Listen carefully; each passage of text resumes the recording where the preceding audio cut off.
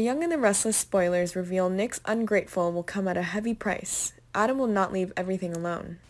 Surgery might not be performed when Adam realized the face of Nick's use. All the Newman members are waiting eagerly for Faith to be saved. Nikki will feel like they can trust Nate to put Faith first. She wouldn't think Nate would endanger the transplant just because Adam is a fugitive.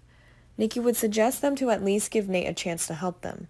Then, Nate will visit the farm and say they don't have the results of the tissue matching tests yet. Victor will reveal that the potential donor is Adam and will share his plans. He will note that they want to bring Adam in for surgery and get out as soon as it is safe without notifying authorities. Nick had to make sure it was safe for Adam to quickly get through the early surgery for Faith.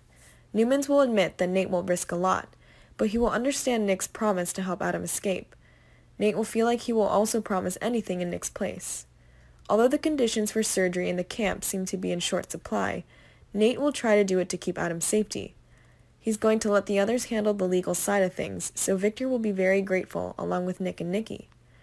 Meanwhile, Adam will talk to Sharon Rosales at the little house. He would admit that he wanted to help Faith, but he did this for Sharon as well. Adam insisted that he had plenty of time to think in Kansas, and determined that Sharon would always be a part of him. Returning to the city to save Faith also wanted to repay Sharon for helping him so much. Adam would think Sharon would always be with him and would argue that his standing was proof of that. Sharon is trying to reassure Adam. Rey will change his mind about, and Rey is looking for evidence accusing Chelsea. Adam would assure Sharon that he would be gone forever after it was all over. He will tell Sharon that she will be free to live her life with Rey Rosales.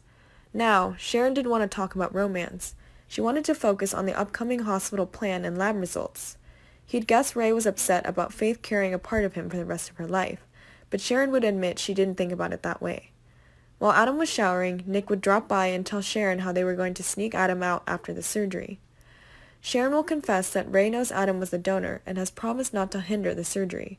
However, Rey plans to arrest Adam soon after.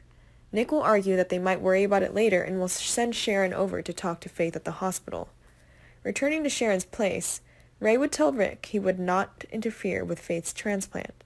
However, Rey will argue that Nick shouldn't even think about helping Adam escape after surgery. An argument between Rey and Nick.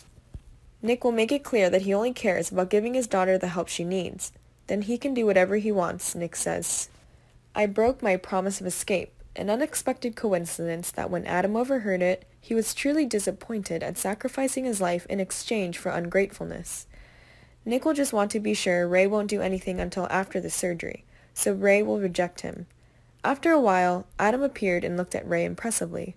The tensions going on between Adam and Rey.